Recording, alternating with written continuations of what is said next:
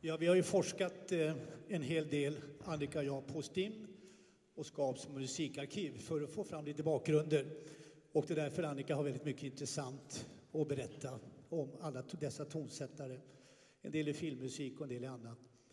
Eh, jag tittade lite grann på dragspelet och märkte att det fattades någonting i historiken.